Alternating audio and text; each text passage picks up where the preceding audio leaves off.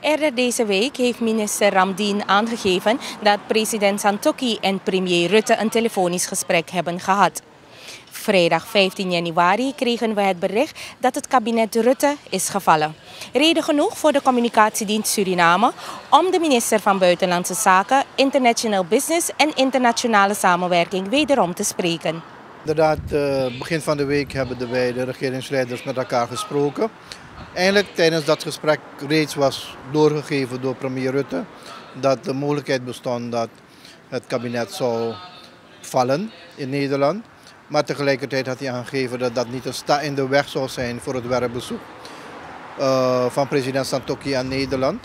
Dus hij heeft die uitnodiging gedaan, uh, wetende dat er mogelijke politieke issues zouden komen.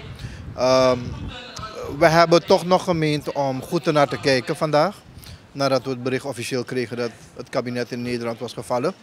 We hebben consultaties gepleegd hier in Suriname, maar zeker ook met Nederland. Dus die consultaties hebben ertoe geleid dat uh, vanuit Nederland herbevestigd is dat de uitnodiging staat. En dat uh, president Santokki welkom is. En uh, graag zien zij dat werkbezoek gewoon doorgaan. Ook hebben wij ook in Politiek Nederland even nagegaan of er issues zouden zijn. Die zijn er niet. Dus wat ons betreft gaat het vooralsnog dit, dit bezoek gewoon door. We gaan gewoon door met de voorbereidingen. We zullen natuurlijk de ontwikkelingen afwachten. Maar zoals het er nu voor staat, vandaag, gaat gewoon de voorbereiding door. Als ook het bezoek van president Santokki met delegatie naar Nederland.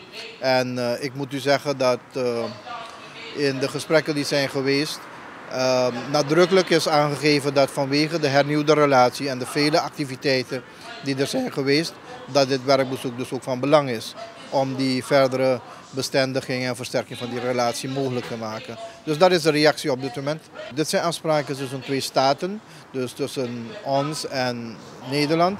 Um, ongeacht welke regering er komt. Wij gaan ervan uit dat de afspraken die zijn gemaakt, zowel politiek als ook bilateraal in, uh, op ambtelijk niveau, dat die gewoon voortgaan en dat de samenwerking uh, ja, verder uh, vorm en gestalte zal krijgen.